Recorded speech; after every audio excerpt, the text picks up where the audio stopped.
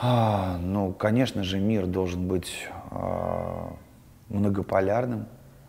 Естественно, не должны миром руководить только американцы или только русские.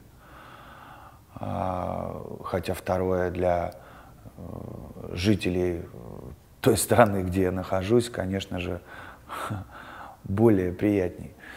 Но я считаю, что мир должен быть многополярным. А, а по поводу влияния России в Латинской Америке, ну, я могу сказать только одно, что если в одном магазине ты не можешь купить то, что тебе нужно, ты идешь в другой магазин.